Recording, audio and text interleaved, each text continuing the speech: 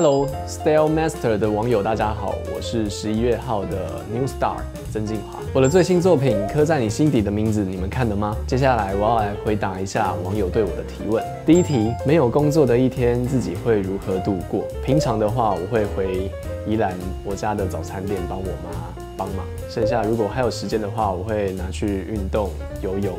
打球，或者是在家里看电影。近期听到最喜欢的称赞是，嗯，好像看到不一样的曾静华喽。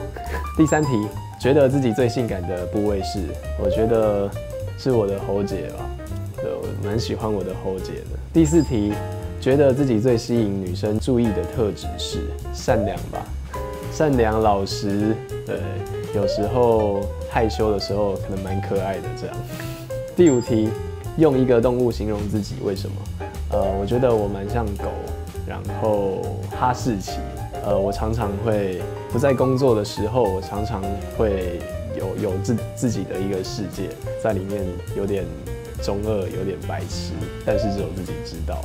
但我如果对身边很熟识的人，我是会很关心他们的。第六题，演返校及刻在你心底的名字都是校园片。现实中的你有深刻的校园爱情故事吗？我记得我在大学的时候，跟我的初恋女友那天吵架，带她去海边走走，度过了一整天，从从下午到晚上，待在海边待了一整天，这样我自己觉得蛮浪漫的。第七题，面对喜欢的人，自己是主动还是压抑派？以前我是比较压抑一点，但我现在我应该是主动的人。第八题，分享一个没有人知道的怪癖，我很喜欢洗澡，我一天曾经最高纪录一天洗过七次澡，我只要一流汗我就会想要洗澡。第九题，你是个乐观还是悲观的人？应该是比较乐观一点第十题，遇到什么事情会一秒激怒你？我觉得是不尊重别人，不尊重，不管在工作的时候还是在私底下开玩笑的时候，应该要去。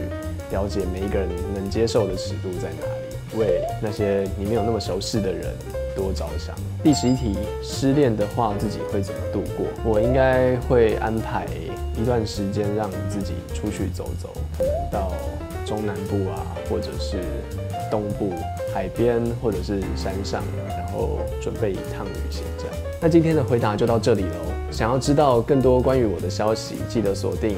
Style Master 的官方 YouTube、Instagram、Facebook，我们下次见喽，拜拜。